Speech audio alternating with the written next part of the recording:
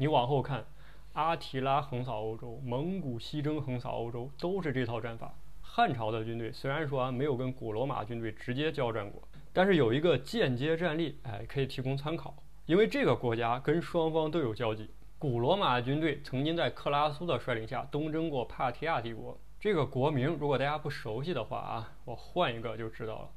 我们史书中的安息帝国，罗马跟安息的一场战役，就是历史上著名的卡莱战役。战役结果，罗马军团啊几乎全军覆没。战役过程我们看啊，罗马军团全程毫无还手之力。之前不还有一种说法吗？就是罗马军团被打散之后啊，有一部分一路往东跑，还跑到咱们这儿，后来呢还在咱们这儿定居了啊。前几年成龙拍那个啊《西域都护》那个电影，它的背景故事也是这个。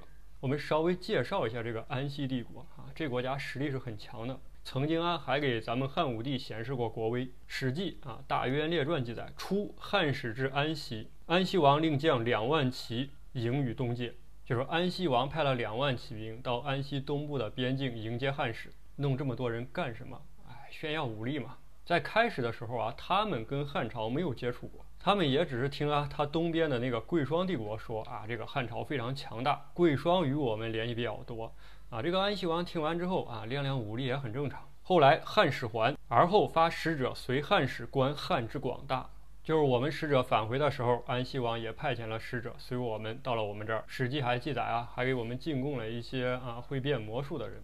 这个国家的位置啊，就在现在伊拉克、伊朗这块儿。你看它的。西部就是罗马帝国，东部就是贵霜帝国，再往东就是我们，就是这个时期啊，整个亚洲中东部啊，各国战法受匈奴影响啊，都在革新。罗马称他们为帕提亚，是按照行省的名字来称呼；我们称安息呢，是按照国王的名字来称呼啊，其实都一样。后来啊，东汉这个班超派甘英也到过这里。罗马在当时啊，处于三巨头时期，就是这个克拉苏、庞培、凯撒，他们三个组成利益同盟，架空元老院，整个国家就他仨说了算。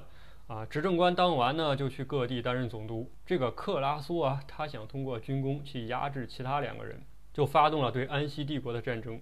斯巴达克当年就是被克拉苏镇压的。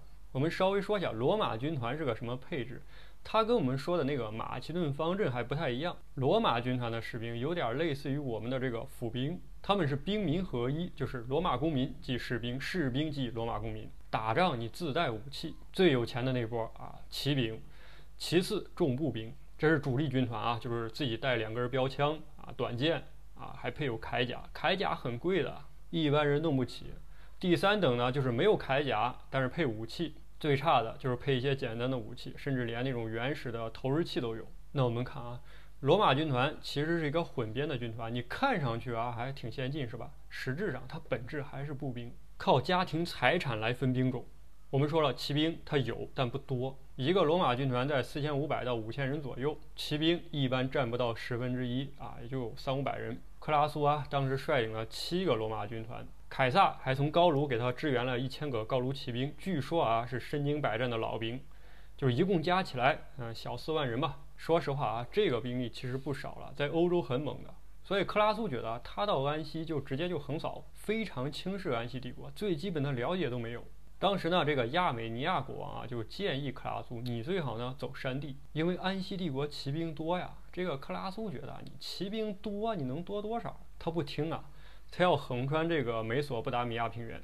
人安息这边啊，早就得到消息了，直接动员，准备跟罗马干。克拉苏率领军队渡过幼发拉底河，进入一望无际的戈壁。一路上啊，没怎么见到安息军队。克拉苏呢，就催促军队啊，赶紧着。就在这个时候，前边侦察报告。发现安息主力，克拉苏听到报告之后啊，非常兴奋啊，就下令军团列阵迎战。四万大军组成一个个方阵，骑兵穿梭其间。但是啊，当克拉苏看到安息军队的时候，惊了。骑兵，纯骑兵两万。安息的战法啊，人家就不冲击你的军团，就围着射箭。你步兵冲击他，他就跑，反正你追不上他。你列阵，哎，他就围着你继续射。安息骑兵啊，一直跟罗马军团保持四到五十米的距离。人多，你都不用瞄准，就抛物线往那堆乱射就行。盾牌是不可能完全防御的，就胳膊腿啊，很容易被射中啊。你在炎热的环境下，很快就失血，丧失战斗力。就这样来回重复。罗马军团一冲击啊，安息人就撤。你停下，哎，人家又围着你射箭。罗马军团啊，被搞得毫无办法。而罗马骑兵呢太少，哎，拿的还是矛，冲过去啊就被人射成刺猬了。就这样来来回回，罗马军团被打崩了。克拉苏撤到卡莱城后被安息人所抓，砍了，军旗都被人夺了啊，非常耻辱。克拉苏啊是当时罗马最牛的三个人之一，他的资格比凯撒还老呢啊！斯巴达克当年就是被他弄死的。我们看啊，这个安息的战法像什么？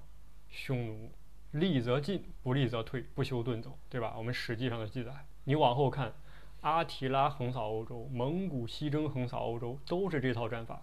对付这样的军队怎么弄？你看我们汉朝啊，你骑兵多是吧？我比你更多。卫青、霍去病一共十万骑兵，每个骑兵配两到三匹马，用你的战法打你，而且武器还比你精良。弩，哎，你不会造吧？我会。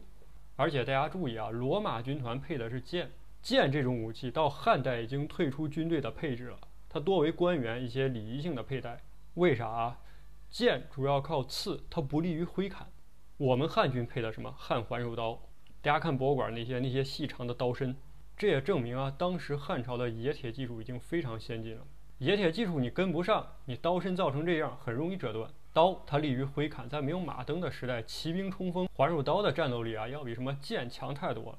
那大家可以想象啊，如果汉军十万骑兵遇到克拉苏这罗马军团这几万人，就刚才我们说的罗马军团的战术跟武器配置，能不能赢？大家自己判断吧。